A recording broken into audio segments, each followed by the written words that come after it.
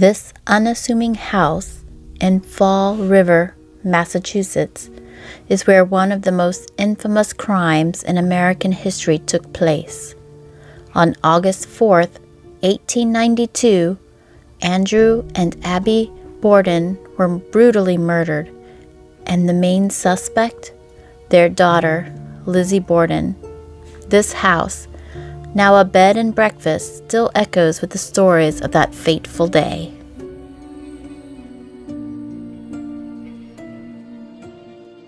After being acquitted of the murders, Lizzie lived the rest of her life in Fall River, ostracized but wealthy from her inheritance. She passed away in 1927, buried here beside her father and stepmother, a stone's throw from the house where it all happened. Visitors come to her grave, some leaving tokens, pennies, flowers, even hatchets, as if seeking answers to the mystery that still haunts us today.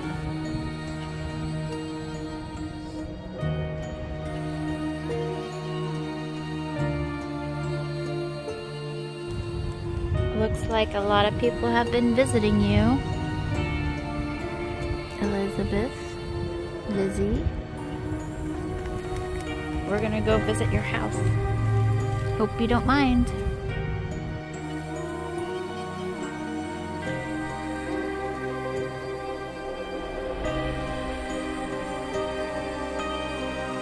Before we go on the tour of the house, we decide to stop off at a local brewery and get food and see what the local town is like that surrounds the house.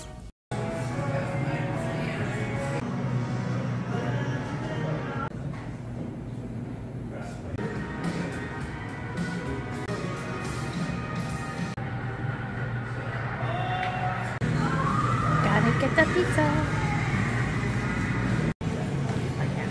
Giant chocolate chip cookie. Here's my hand to compare. It's pretty big. We'll be staying here tonight. And at 3.30 we're going on a tour. So we'll be going in soon. I did not film during the tour, but I did take pictures. And I will show those to you now. There's one very interesting one I'll point out later. The house looks much like it did on that August morning in 1892. Lizzie Borden was the prime suspect in the murders of her father, Andrew, and her stepmother, Abby, both found brutally hacked to death with a hatchet. Despite a public trial and mounting evidence, Lizzie was acquitted, leaving the case unsolved to this day. Was she truly guilty? Or was there another hand behind these gruesome deaths? As you walk through the rooms, you can't help but wonder what really happened here. Look closely at this image taken inside the Lizzie Borden house. Look at the mirror. Yes, it has damage and strange scratches on it, but if you look at the bottom, it looks like a ghostly face. Is it just the scratches on the mirror, or is it a ghost? This picture was not altered. Let me know what you think.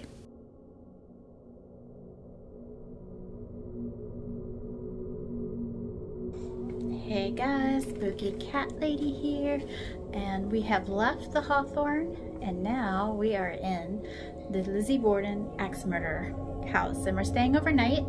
We just did a tour of the house, and now we are in our room, which is the John Morse room. So, let's check it out. It's pretty big. It's bigger than I thought it was gonna be. So we're thankful. Last room was a little tight. We have this coat rack. I don't know what's in here. I don't know if it's I for our it's use. Another room. Yeah, it seems to be locked. That might go to another room. Uh, what is that? is that a bedpan, maybe? No, that's the cook stuff. So you Oh. guys wanted to uh, Hold do up. in our room like that.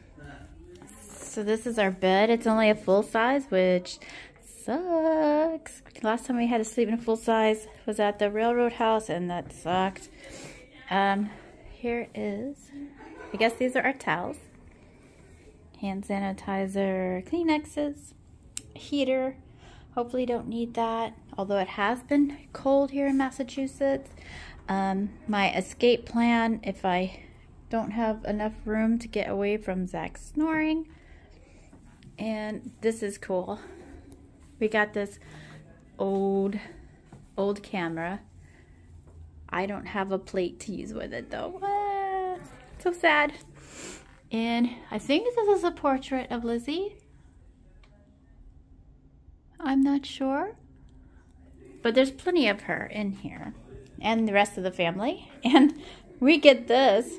The corpse of the mother. stepmother, actually. She will be sleeping with us tonight. That will be an experience. And this might be original to the time that everything happened because if you look at this picture,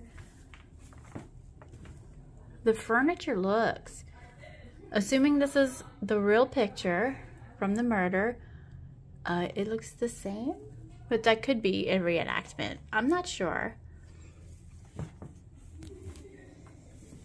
And this teddy, he is ours.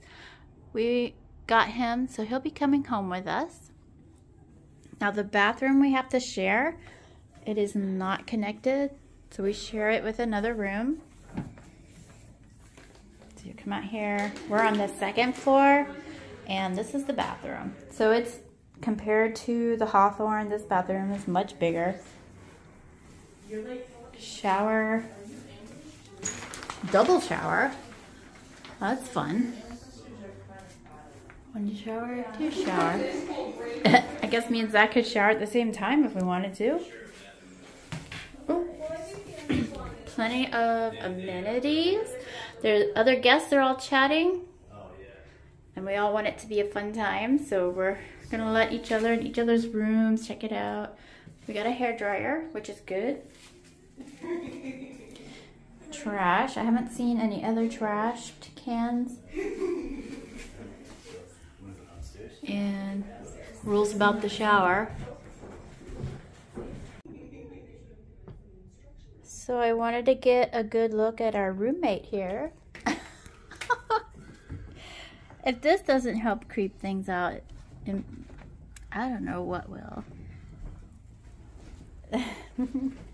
I thought maybe they would take these out once, you know, the tour was over. But nope, she's hanging out. So that will be fun. And Zach's getting cozy in the room.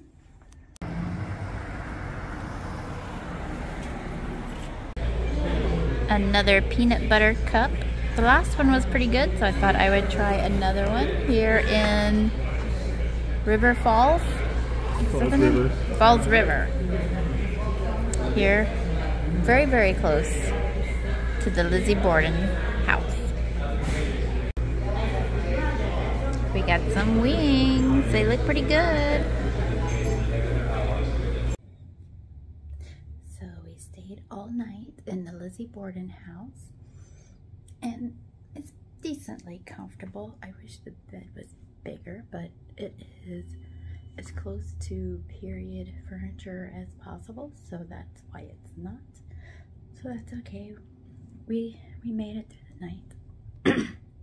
I did wake up a few times just because didn't have much space. but the shower was great. It's probably one of the better showers we had. So no complaints there. Nice and hot, nice and strong. Yay. And uh, yeah, it was a fun experience. Um, if you're in Falls Water or Waterfalls, Falls Water, it's a fun place to stay. It's different. Instead of staying in a regular hotel, stay in a murder, a murder house. Why not? So we had fun. The night was fun. We all had our rooms open and all of us went around ghost hunting in each other's rooms. It was a lot of fun. So yeah, if you want something different, you'll definitely get that here. And so I do recommend staying here if you want a different kind of experience. Goodbye, corpse lady. We enjoyed spending the night with you. The mystery of the Lizzie Borden murders may never be solved, but the chilling history of this house continues to fascinate and frighten visitors from all over the world. Whether you believe in ghosts or not, one thing is certain this house holds onto its secrets, and spending a night here is an experience you won't soon forget. Don't forget to like, comment, and subscribe to join our crew of spooky cats for more ghostly adventures, paranormal investigations, and mysterious travel vlogs. See you later, spooky cats.